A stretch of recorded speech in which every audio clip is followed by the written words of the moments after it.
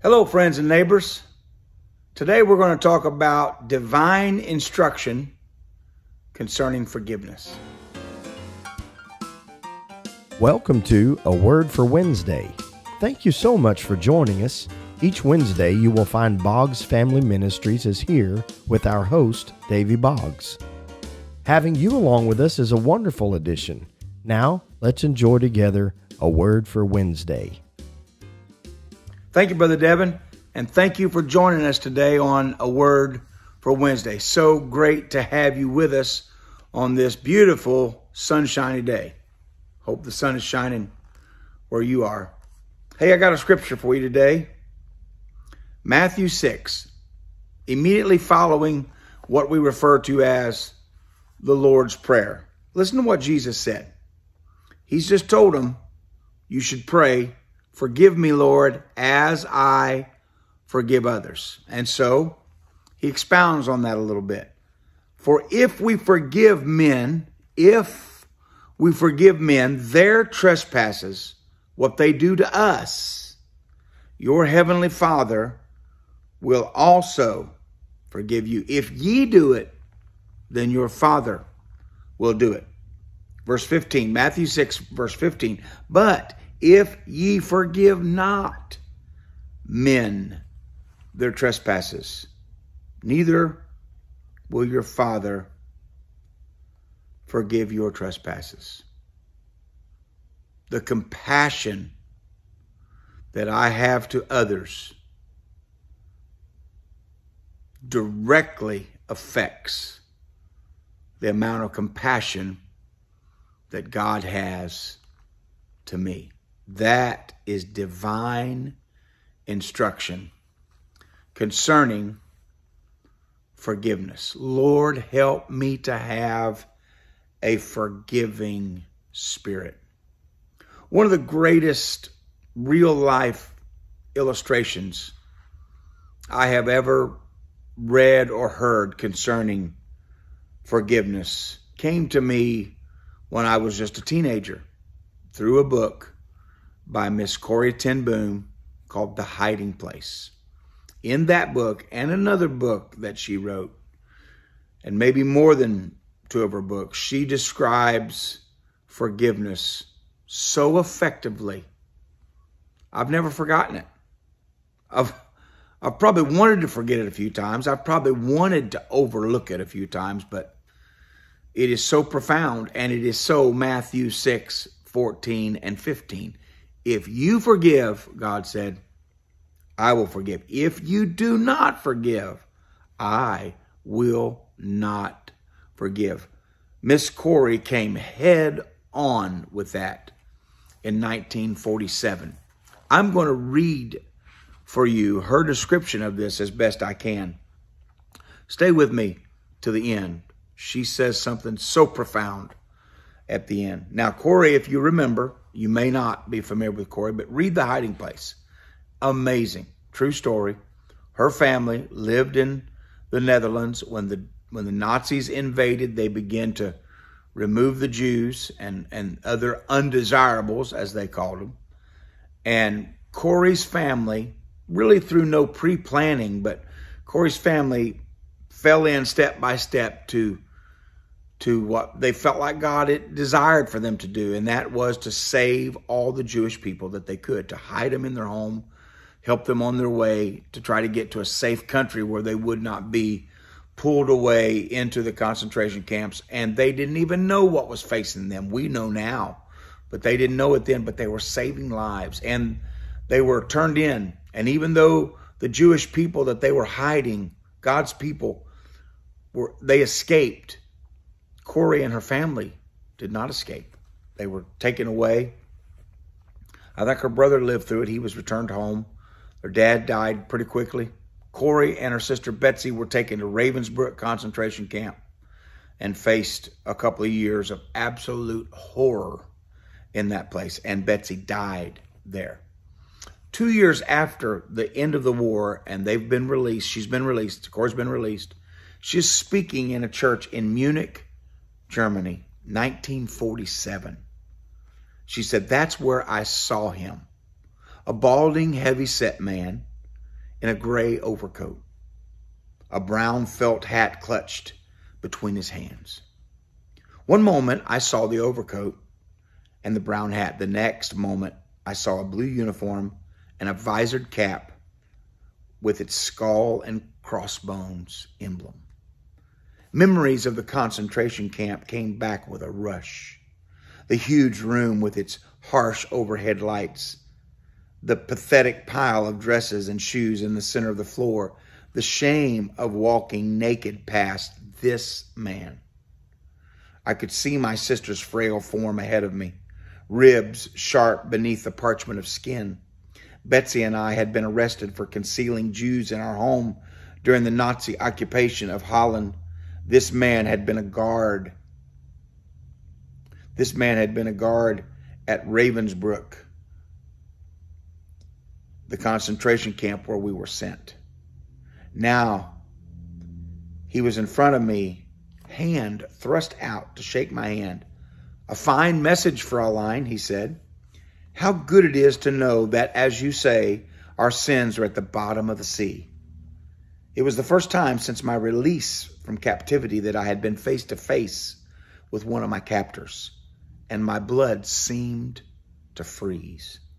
You mentioned Ravensbrück in your talk, he was saying. I was a guard there. But since that time, he went on, I have become a Christian. I know that God has forgiven me for the cruel things I did there, but I would like to hear it from your lips as well, Fraulein. Now, there's no indication here that Corrie perceived this man was anything but genuine in his repentance. And again, he stuck his hand out and he asked her, Will you forgive me? And as I stood there, Corrie said, I could not forgive him. Betsy had died in that place. Could he erase her slow, terrible death simply by asking? It could not have been many seconds that he stood there and held his hand out, waiting for my reaction. But to me, it seemed like hours as I wrestled with the most difficult thing I had ever had to do. I had to do it. I knew that. I had to forgive, for he had forgiven me. The message that God forgives has a prior condition that we forgive those who have injured us. If you do not forgive men their trespasses, neither will your Father in heaven forgive your trespasses. I knew that, she said. Still, I stood there with the coldness clutching my heart. But at its root, forgiveness is an act of the will. And the will can function regardless of the temperature of the heart. Jesus, help me. I prayed silently. I can lift my hand. I can do that much. You supply the feeling. And so woodenly and mechanically, I thrust my hand into the one that was outstretched to me. And as I did, an incredible thing took place. The current started in my shoulder raced down my arm, sprang into our joined hands, and then this healing warmth seemed to flood my whole being, bringing tears to my eyes. I forgive you, brother, I cried with all my heart. For a long moment, we grasped each other's hands the former guard, and the former prisoner. I had never known God's love so intensely as I did then. I remember being so moved by that when I was just a teenager reading The Hiding Place. And years later, when I went back to read The Hiding Place and, and, and Corrie's other works. And I remember that, that proclamation, former guard, former prisoner. grasping each other's hands. And I had never known God's love as intensely, so intensely as I did then. Can I couple that passage and this story with another verse that seemingly has nothing to do with forgiveness? Paul said that Jesus taught it is more blessed to give than it is to receive. And I have mentioned that here. I have mentioned very specifically what a blessing it is to be on the receiving end of a gift because we think of that as monetarily or materially.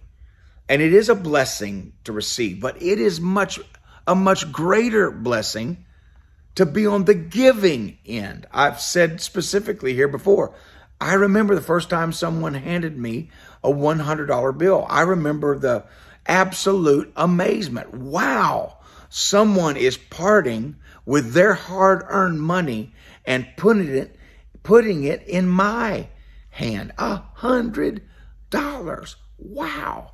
I remember the amazement. I remember the joy. I remember the happiness.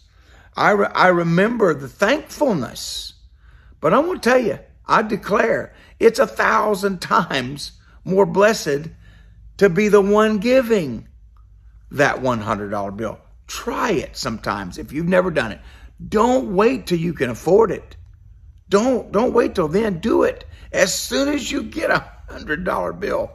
Put it in the hands of somebody in the grocery line. Put it in the hands of somebody at the laundromat. Put it in the hands of a waitress that is down and, and looking for a looking for somebody to help. Put a hundred dollar bill in some in some stranger's hand. Just walk up to them and without any without any condescending, without any pride, with just say, look, this is from me and God. Bless you. Put it in an envelope with you if you want to. Whatever, just give it to somebody. You're going to find out it's more fun, more joyous, and even causes more gratitude to give a hundred than it does to receive a hundred. So it's more blessed to give than to receive. Let's look at that in the in the light of what Corrie said here and the scripture. Thank God we have received forgiveness. Oh, I'd be on my way to hell or in hell if I had not been forgiven. Thank God I'm clean, free from sin, free from the penalty of sin, free from the power of sin. Hallelujah, I've been forgiven. What a blessing. But I promise you, it's a greater blessing, at least an equal blessing, and probably a greater blessing to be the one extending forgiveness. Someone who needs to be forgiven. And you graciously say, forget it. It's over. I forgive. I do not hold it against you. Go in peace. I forgive. Corrie was a wonderful Christian. She sets Betsy up, her sister, to be a much more spiritual woman, but Corrie learned her lessons well from Betsy and from her parents and from Christ. She was a she was a good Christian. She had been forgiven. But in 1947, less than two years after escaping the most horrendous episode in her life, a couple of years in a concentration camp, watching thousands die, including her sister, suffering horribly. Less than two years after that, she's face to face with one of her captors, one of the prison guards. Will you forgive me, Fraulein? And as an act of will, she stuck out her hand and said yes. And the feeling came then.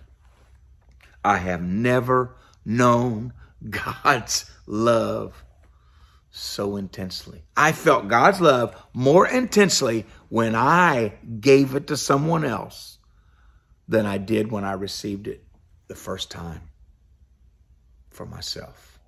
The divine instruction to forgiveness is to give it, and then you will receive it.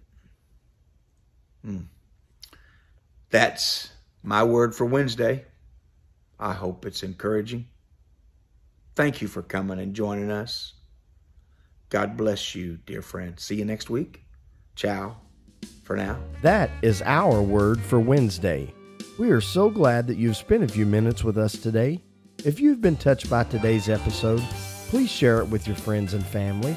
We welcome your questions or comments below or by email. You can find the email address in the description, along with a link to Mile Markers, the website for Boggs Family Ministries. Also, please give this video a thumbs up and subscribe to our channel. Thank you again, and we hope to see you next Wednesday.